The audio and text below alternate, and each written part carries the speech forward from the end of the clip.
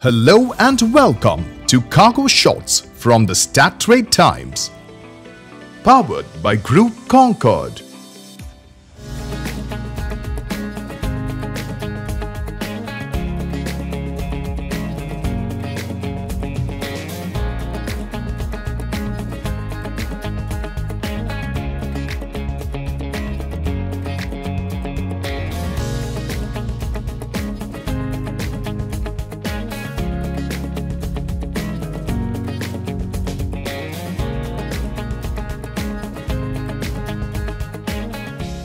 Here's our pick of the best news shots that made the headlines this week.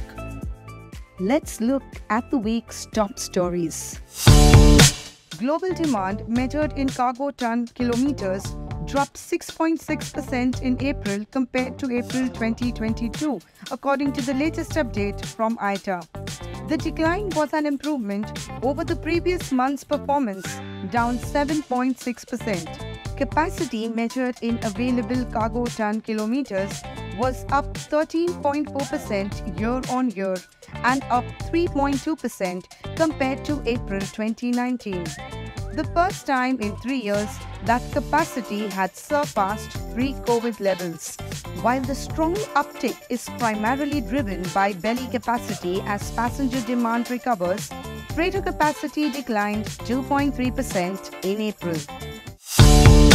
Qatar Airways has signed a deal with Shell to source 3,000 tons of sustainable aviation fuel or SAF at Amsterdam Schiphol Airport. The deal will see Qatar Airways use at least 5% SAF blend over 2023 and 2024.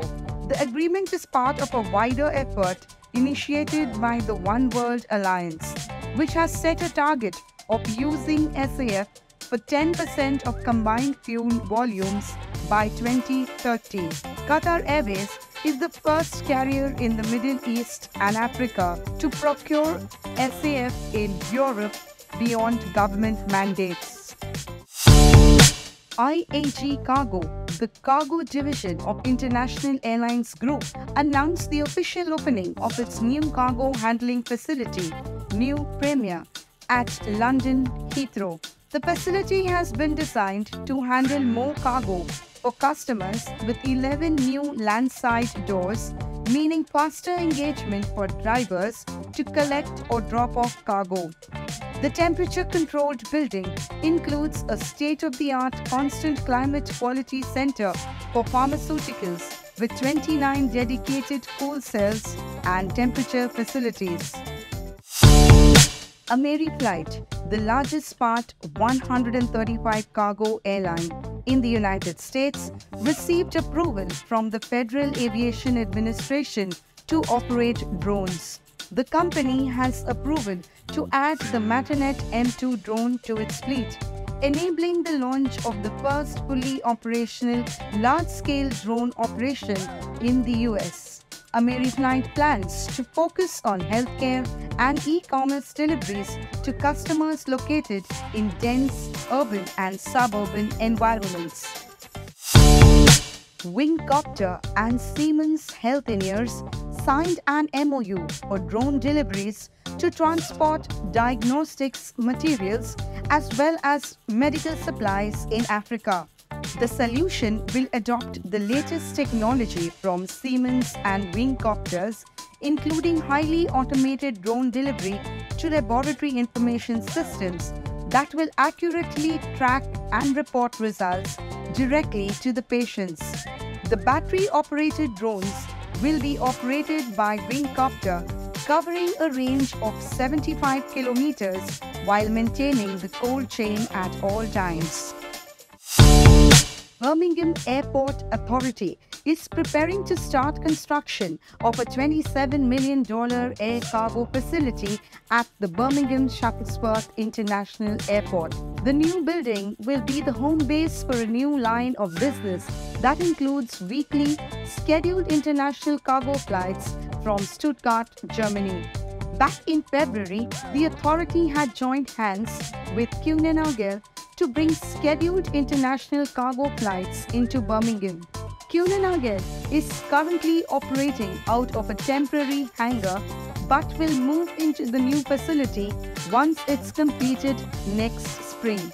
Last year, there were 1,564 air cargo operations at the airport that moved nearly 21 tons. And it's a wrap for this week's episode. You can read more on all of these stories at stattimes.com. Make sure to check back next Friday for the news that you need to know to end the week. Wishing you a great weekend ahead and do take good care.